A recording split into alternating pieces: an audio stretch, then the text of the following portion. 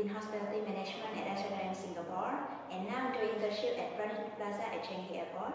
So I still remember the first day I came to Singapore. That was the first time I traveled to another country, so I was very excited and worried. But luckily, I met wonderful friends and helpful staff at the beginning, so they helped me a lot into the transition life to Singapore. And throughout the time I studied here, I did participate in many school activities organized by student committee, and I was also nominated as um, vice, president, for Vietnamese students. So, and I also doing volunteer for National Day Parade 2015 to celebrate the Singapore 50 years events.